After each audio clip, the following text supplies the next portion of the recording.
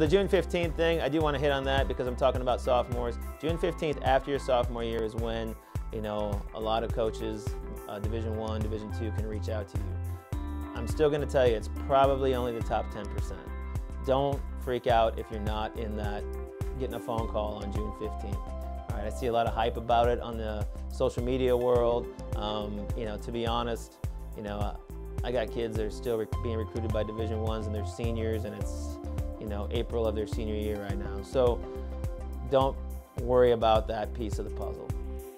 Worry about you. Know where you belong, um, and you know you'll be able to decipher this as things go along a little bit, and, and get a you know don't stress out about it too early. I think that's a huge part of it.